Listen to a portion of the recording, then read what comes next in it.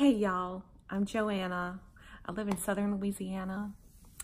I'm an empty nester, three grown boys, two grandchildren, and married, and what else? I love to crochet. I've only been doing it about three and a half years now, and um, I'm loving it. So, yeah, my grandmother taught me when I was around 10 but I never did much with it. So um, until, you know, what, 35, 40 years later. so anyway, stay tuned. See ya. Where do I look? Right here? Okay. Hey.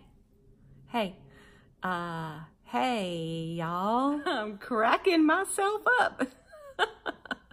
anyway, okay, down to business. Let's talk about yarn, shall we? I don't know why I'm so nervous doing this. it's so funny. It's kind of ridiculous. Anyway, so yeah, welcome to Jo's Web.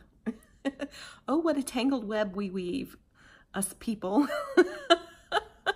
So just in case you're wondering what this clip is on my finger, because I always put it in my hair like this.